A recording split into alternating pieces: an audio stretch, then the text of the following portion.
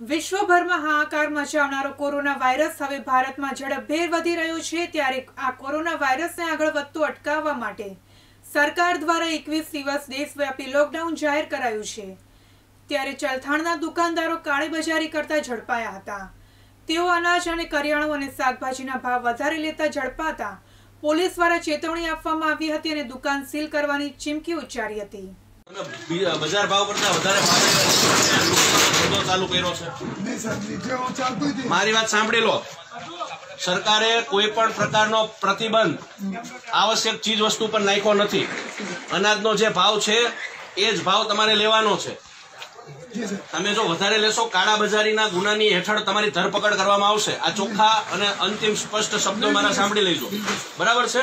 ભાઈ આ પ્રજાને રંજાડવાની નથી. નામની લેખિત કમ્પ્લેન છે.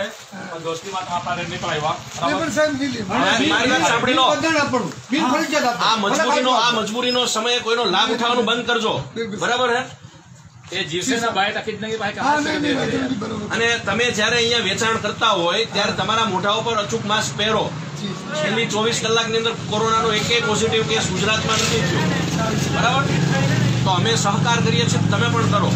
નહીં તો પછી અમને લેતા આવડે પગલાં, કેવી રીતના લેવડાવવા અહીંયા બજારના ચાર રસ્તાની વચ્ચે ઉઠક બેઠક કરાવીશ ને મારી સહિત.